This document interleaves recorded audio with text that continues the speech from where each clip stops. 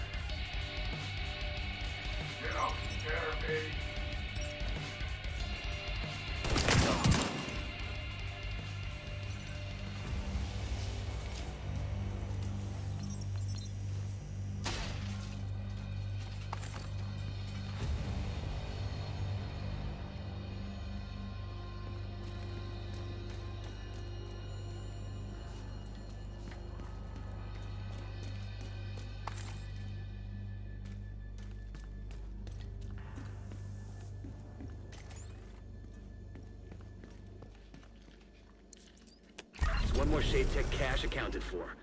Bring it on back to base.